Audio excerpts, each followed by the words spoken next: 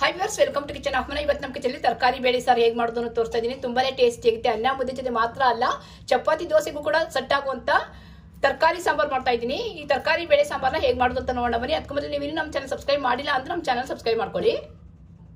ನೋಡಿ, ಅದಕ್ಕೋಸ್ಕರ ನಾನು ಬೀನ್ಸು ಕ್ಯಾರೆಟು ಗೆಡ್ಡೆಕೋಸು, ಆಲೂಗಡ್ಡೆ ತಗೊಂಡಿದ್ದೀನಿ ನಿಮ್ಮ ಹತ್ರ ಯಾವುದು ತರಕಾರಿ ಇದೆ ಅದನ್ನ ಹಾಕೊಳ್ಬೋದು. ಮೊದಲಿಗೆ ಬೇಳೆ ಮತ್ತು ಟೊಮೊಟೊನ ಬೇಯಿಸ್ಕೊಳ್ಬೇಕು. ಕುಕ್ಕರಲ್ಲಿ ಹಾಕಿ, ಚೆನ್ನಾಗಿ ತೊಳ್ಕೊಳ್ಬೇಕು ಬೇಳೆ ಮತ್ತು ಟೊಮೊಟೊನ. ನೋಡಿ ಮೊದಲಿಗೆ ಬೇಳೆನ ತೊಳೆದಿಟ್ಕೊಂಡಿದ್ದೀನಿ. ಇದನ್ನ ಒಂದು ಕುಕ್ಕರ್ಗೆ ಹಾಕೊಳ್ತಾ ಇದ್ದೀನಿ. ಜೊತೆಗೆ ಟೊಮೊಟೊ ಕೂಡ ಹಾಕ್ತಾ ಇದ್ದೀನಿ. ಸ್ವಲ್ಪ ಕಟ್ ಮಾಡಿ. ಈ ಥರ ಸ್ವಲ್ಪ ಕಟ್ ಮಾಡಿ ಹಾಕಿದ್ರೆ ಸಿಪ್ಪೆ ಸಿಡಿದ್ರೆ ತೆಗೆದು ಹಾಕೊಳ್ಬೋದು ಆಮೇಲೆ ಬೆಂದ ಮೇಲೆ.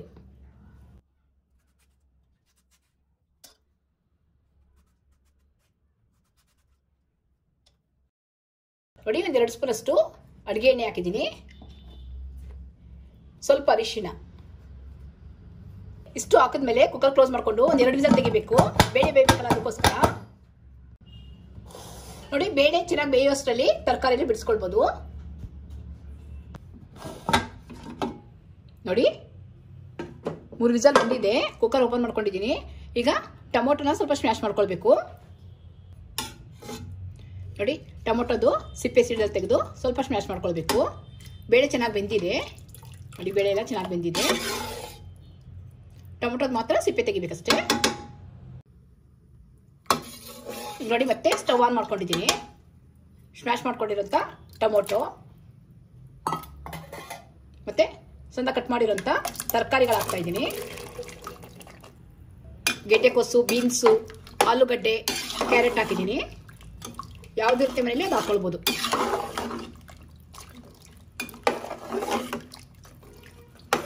ಈಗ ಚೆನ್ನಾಗಿ ಕುದಿ ಬರ್ಬೇಕಿದು.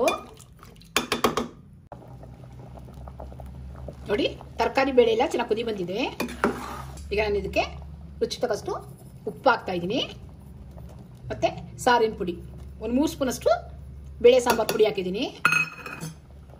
ಚೆನ್ನಾಗಿ ಮಿಕ್ಸ್ ಮಾಡ್ಕೊಳ್ಳೋಣ.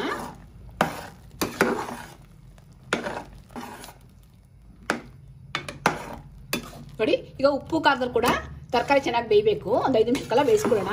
ನೋಡಿ, ನೀವು ಈ ಹಂತದಲ್ಲಿ ಬೇಕಾದರೆ ಕುಕ್ಕರ್ ಕ್ಲೋಸ್ ಮಾಡಿ ಒಂದು ವಿಸಲ್ ತೆಗಿಬೋದು. ಅದೇ ತರಕಾರಿಗಳು ತೀರಾ ಬೆಂದಂಗೆ ಆಗ್ಬಿಡುತ್ತೆ. ಸ್ವಲ್ಪ ಕ್ರಂಚಿ ಆಗಿರಬೇಕು ಅಂದರೆ ಹೀಗೆ ಬೇಯಿಸ್ಕೊಳ್ಬೇಕು.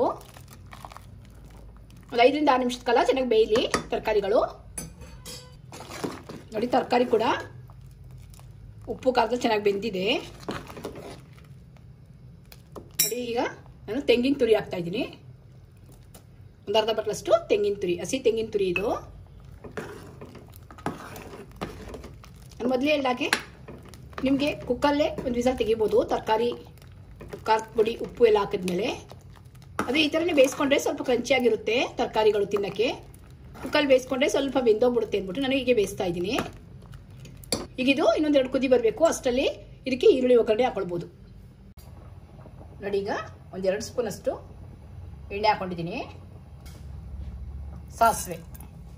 ನೋಡಿ ಸಾಸಿವೆ ಸಿಡಿದ್ಮೇಲೆ ಸಣ್ಣ ಕಟ್ ಮಾಡಿರುವಂಥ ಈರುಳ್ಳಿ ಒಂದು ಒಣಮೆಣಸಿನ್ಕಾಯಿ ತೊಗೊಂಡಿದ್ದೀನಿ, ಕರಿಬೇವು. ಇಷ್ಟನ್ನು ಹಾಕೊಂಡು ಫ್ರೈ ಮಾಡ್ಕೊಳ್ಬೇಕು.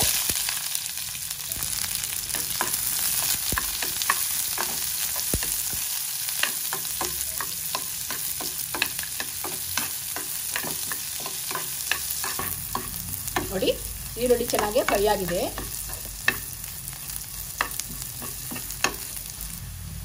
ಈಗ ಇದಕ್ಕೆ ಚಿಟಿಕೆಯಷ್ಟು ಹಿಂಗೆ ಹಾಕ್ತಾ ಇದ್ದೀನಿ.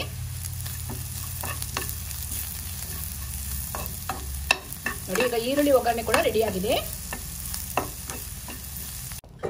ನೋಡಿ, ಒಗ್ಗರಣೆ ರೆಡಿ ಆಗಿದೆ, ಈರುಳ್ಳಿ ಒಗ್ಗರಣೆ. ಇಲ್ಲಿ ಸಾರು ಕೂಡ ಚೆನ್ನಾಗಿ ಬೆಂದಿದೆ. ನೋಡಿ, ತರಕಾರಿ ಇಷ್ಟು ಬೆಂದಿದೆ. ತರಕಾರಿ ಬೆಂದಿಲ್ಲ ಅಂದ್ರೆ ಇನ್ನೊಂದು ಐದು ನಿಮಿಷದ ಕಾಲ ಬೇಯಿಸ್ಕೊಳ್ಬೋದು. ನೋಡಿ, ನಾನೀಗ ಮಾಡಿಟ್ಕೊಂಡಿರೋಂಥ ಈರುಳ್ಳಿ ಒಗ್ಗರಣೆ ಹಾಕ್ತಾ ಇದ್ದೀನಿ.